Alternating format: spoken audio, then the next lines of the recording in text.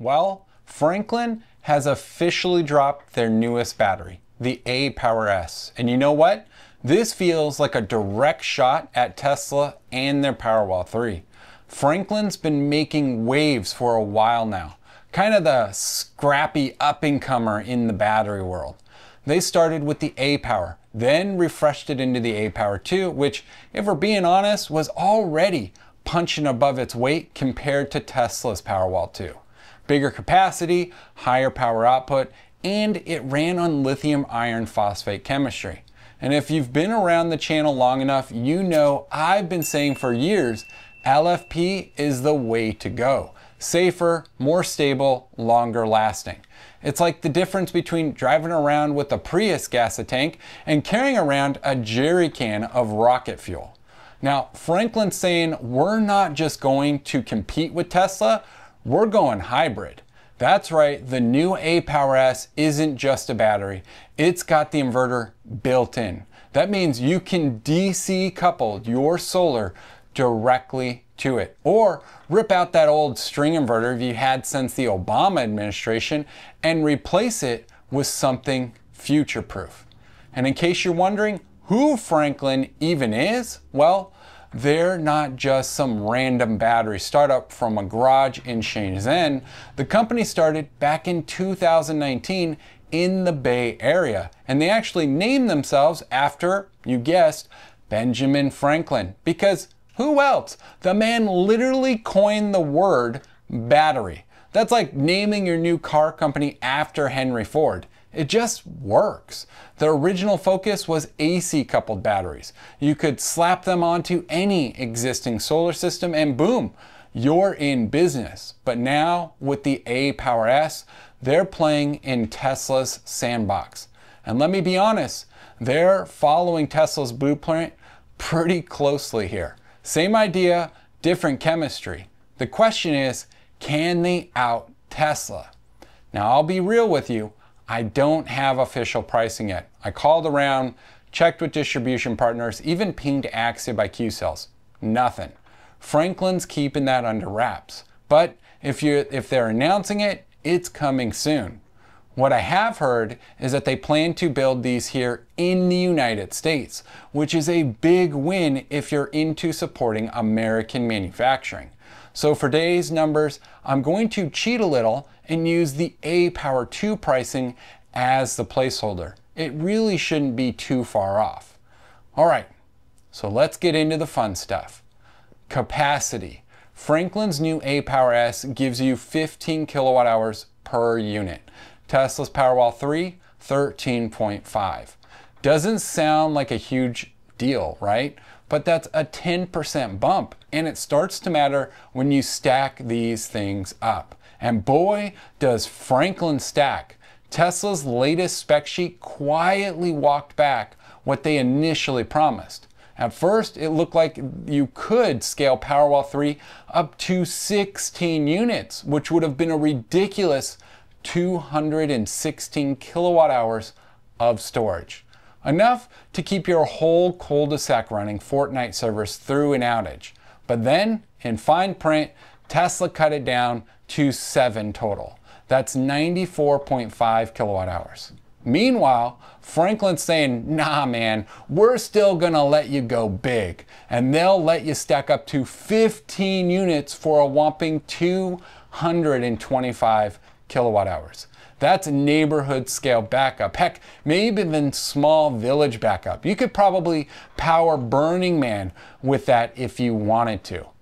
Power output is another big one. Franklin lets you software adjust the rating depending on your panel size and utility requirements. They offer 5 kilowatts, 7.6, 9.6, or 11.5. Now Tesla does the same thing, just with slightly different numbers.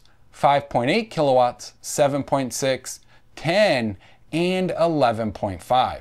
So they're basically neck and neck here, and both unlock full output in an outage. That means if the grid goes down, you're not stuck at that lower PCS rating. So you get the full power of the inverter. Now, it is worth noting that the Powerwall 3 does have a solar boost mode for off-grid use, and you can offer up to uh, 15.4 kilowatts in an outage when combined with solar production during the day. But it has to be enabled and specifically configured for that during the installation.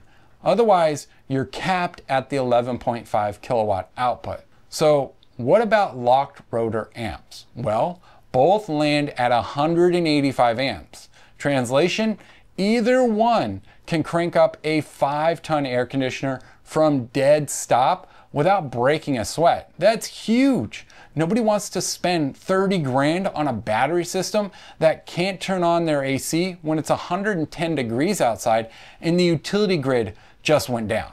But here's where Tesla edges out Franklin solar inputs. Franklin's new aPower S gives you four MPPTs. Tesla's Powerwall 3 has six. And yeah, that matters. If you've got a funky roof with panels spread out east, west, south, and then one lonely string on your patio cover, those extra inputs make your installer's life a lot easier. Tesla also supports parallel strings, which is perfect for older systems. Franklin hasn't confirmed that yet. Could be a software update down the road, could be a hardware limitation. We'll see, so be sure to subscribe to the channel to stay informed for that. Now, when it comes to charging speed, Franklin takes the crown. Each aPower S can take in 8 kilowatts of charging. Tesla's Powerwall 3, just 5 kilowatts unless of course you add an expansion battery, then it bumps up to 8 kilowatts. Doesn't sound like much, but think of it like refueling a car. If Franklin's charging station fills up in under two hours, Tesla's takes closer to two and a half. Over a decade of cycling, that adds up. And warranties? This one's easy. Franklin's offering 15 years, Tesla still at 10.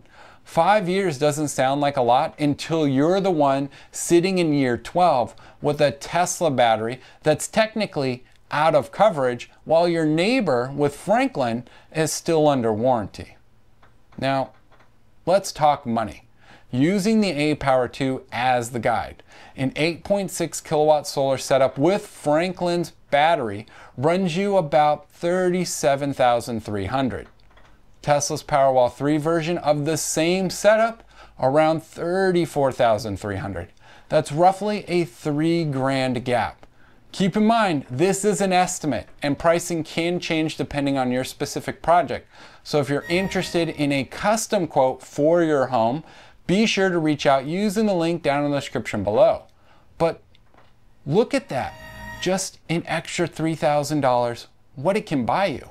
More storage, faster charging, way more scalability, and a longer warranty.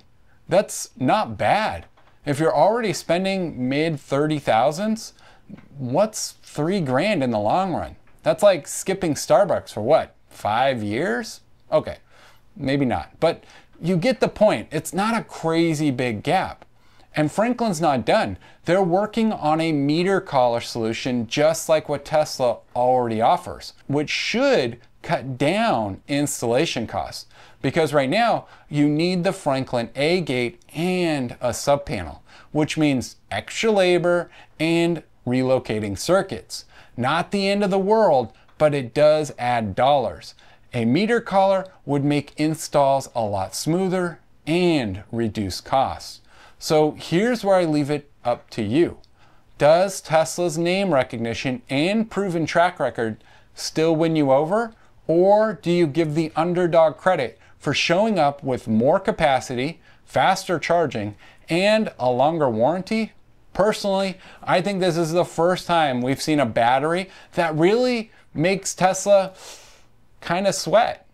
Let me know what you think in the comments. And hey, while you're down there, go ahead and hit like, hit subscribe, and share this video.